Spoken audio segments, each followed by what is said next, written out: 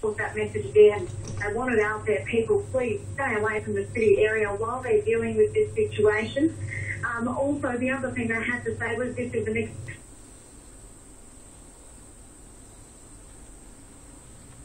please stay away from the city area while they're dealing with this situation. Um, also, the other thing I had to say was